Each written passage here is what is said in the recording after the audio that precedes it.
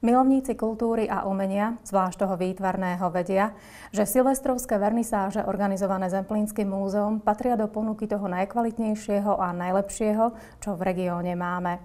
Nebolo tomu inak ani tento rok. Kvôli rozsiahlej rekonštrukcii však došlo k zmene miesta konania. Výstava nazvaná Krajinárske impresie zo Zemplína bola v galérii Zemplínskeho osvetového strediska. Na 29.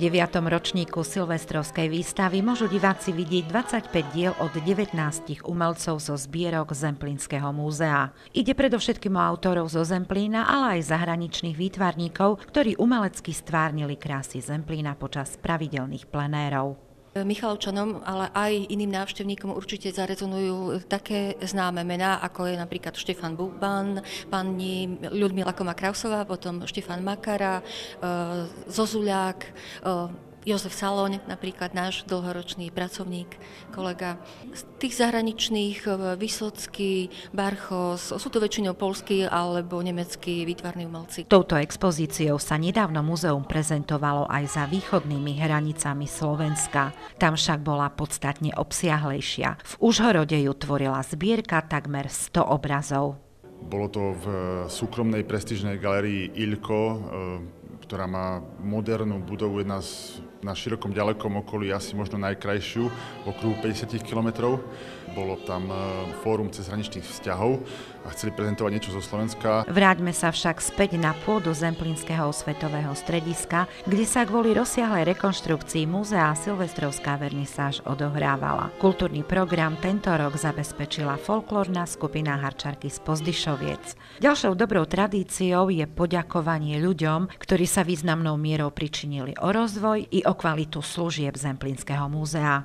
Cenu za vedecký prínos pri poznávaní Zemplínskeho regiónu udelujeme nášmu bývalému zamestnancovi a myslím si, že jednému z najlepších ornitologov na Slovensku, magistrovi Štefanovi Dankovi. Hoci je teraz už na dôchodku, tak stále pracuje a editoruje knihy celoslovenského významu. A druhým oceneným bude Mestské kultúrne stredisko. E, organizácia mala tohto roku 30-ročné výročie. My sme už chceli uh, Mestské kultúrne stredisko oceniť aj skôr, ale sme práve čakali, že dokedy budú mať nejaké významné výročie, lebo naozaj spolupráca s touto inštitúciou je možno jedna z najintenzívnejších. Návštevníci Silvestrovskej vernisáže sa dočkali aj prekvapenia. Okrem štandardne kvalitnej expozície mohli zhliadnúť aj vzácny pergamen, rodostrom Irmy Stáraj.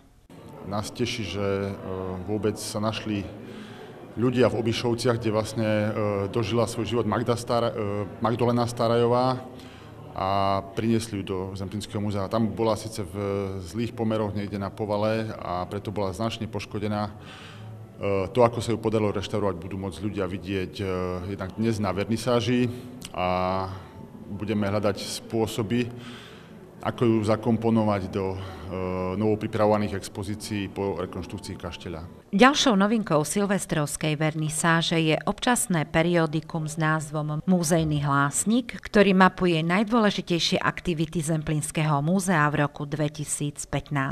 Výstavu Krajinárske impresie zo Zemplína môžete v galerii Zemplínskeho svetového strediska vidieť do 21. januára.